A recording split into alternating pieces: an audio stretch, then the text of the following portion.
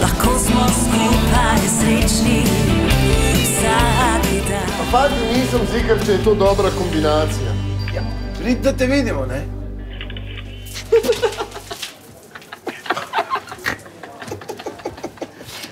Evo,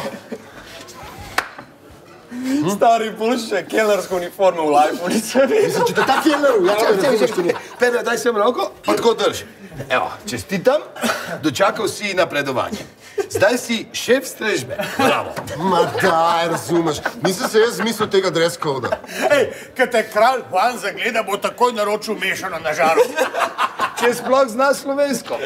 Moš pa nujno sabo odnesti uh, nekaj naših klobas, da jih malo promoviraš tam le pri teh ministrih, pa tole, pa špeh, špeh boš tudi Veš odnesel. kaj naredi? Dej se sliki s tem čilencem pa s klobasami, mi bomo povečali to sliko, obesili pa napisali Kralj Česnok se druži s svetovnim plemstvom. Mislim, pa kakšni vi pohate, pa kje se vas ugasne? Pa da je no vse ti nov krona dol padla, če boš par klobas odnesel. Ma daj, no, jaz že taščo pelem tja, razumeš, že to je čist zadost. Daj roko.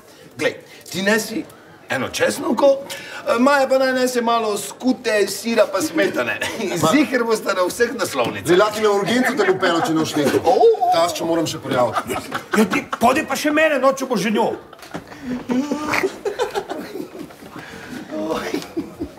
Ja, aha, ja. Uh, halo, dober dan. Uh, ja, jaz sem vas klical že danes zjutraj.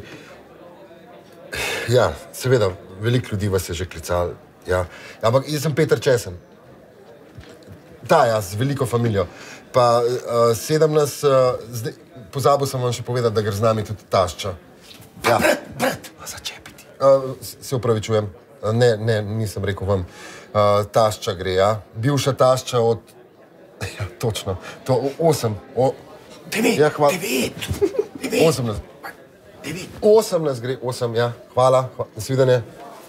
Kaj, ne greš? Ne ja bom vsaj jaz kljubase samo. Ne boš.